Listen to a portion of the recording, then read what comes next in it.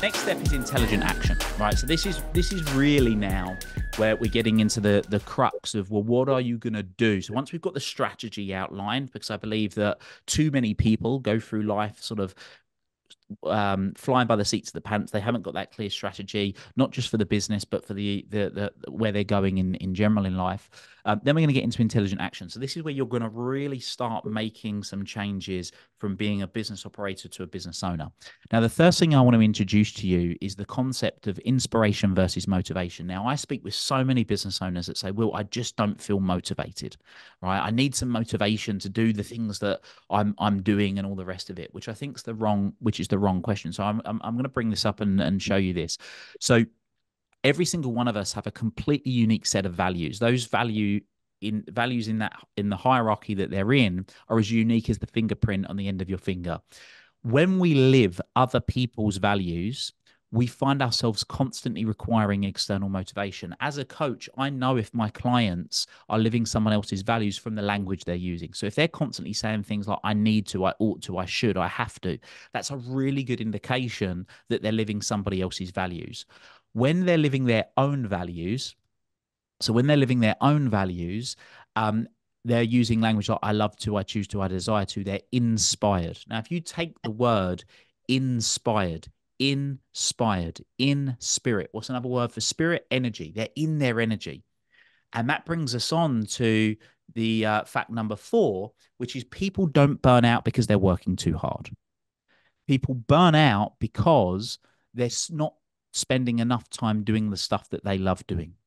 So that's what we really want to hone in is even within your business, there's lots and lots of different things that need to be done, but there are certain things that you love doing more than others. Like in my in my business, in my coaching business specifically, the things that I love doing are um, coaching.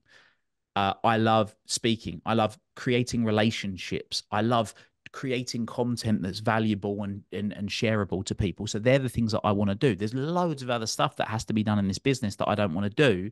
Um, and in order for me to be able to do those things and for you to be able to do those things and ultimately stay on track with your North Star trajectory, we have to use our time wisely.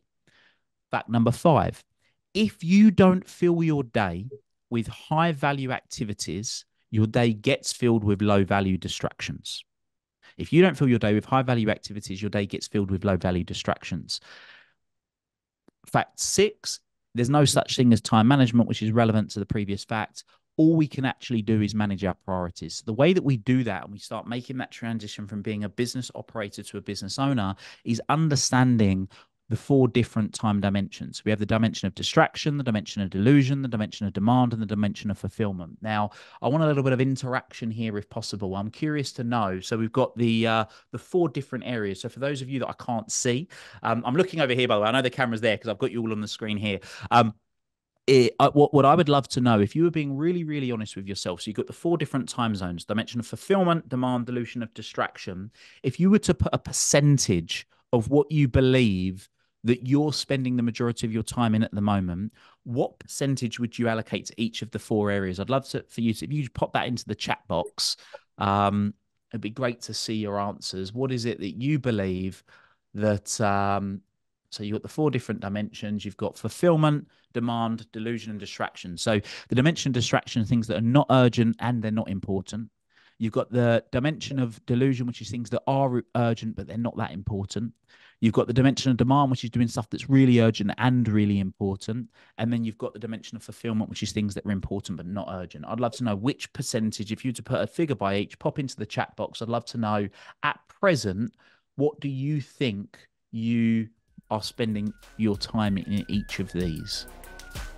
Thanks for watching and if you like this video, hit like, hit subscribe and please also leave a comment about what it is that you like. I'm going to be picking one of the comments and sending you a free copy of my book, North Star Thinking, Master Your Mindset and Live a Life You Love. So make sure you get that comment.